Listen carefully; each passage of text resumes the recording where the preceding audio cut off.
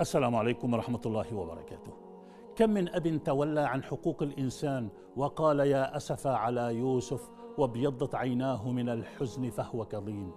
كم من أم وأخت قالت إنما أشكو بثي وحزني إلى الله بعد أن شاهدوا أطفالهم مستهم البأساء والضراء.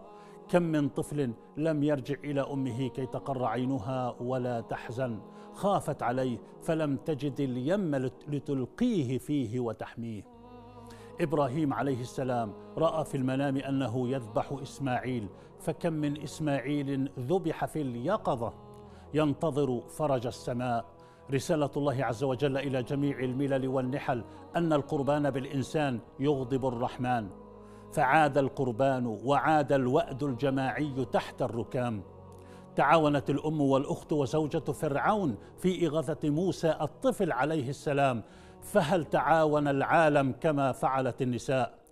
خاف الناس على أطفالهم من الجوع فقال لهم الله سبحانه وتعالى ولا تقتلوا أولادكم خشية إملاق. ولا تقتلوا أولادكم خشية إملاق نحن نرزقهم وإياكم إن قتلهم كان خطأ كبيرا. لم يعد خشية الجوع هو الهاجس عند الناس فالجوع والموت واقع وليس مجرد أحاسيس. فما هو طوق النجاة في القانون الذي يعزفون عليه في وسائل الإعلام؟ قانون يحرم الإجهاض ويسكت عن وأد الأولاد والبنات والنساء جميعا تحت الركام. وإذا الموءودة سئلت بأي ذنب قتلت. كيف يقي الإنسان نفسه وأطفاله نارا؟ وقودها الناس والحجارة هي نار الدنيا وليست نار الآخرة. واجبات الإغاثة قد تتقدم على صلاتك وصيامك وحجك.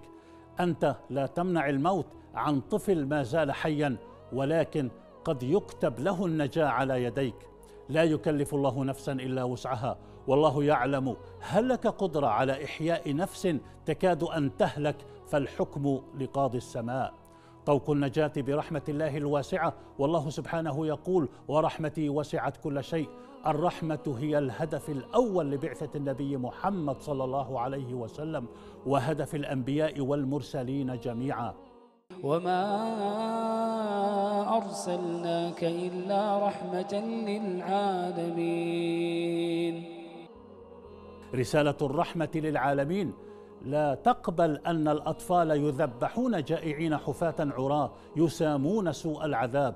قانون الله سبحانه وتعالى قاله الأنبياء والخلفاء لجيوشهم لا تقتلوا طفلا ولا شيخا ولا امرأة ولا ناسكا في صومعته فماذا يقول القانون الجديد؟ اللهم احفظ فلسطين وأهلها يا رب العالمين والسلام عليكم.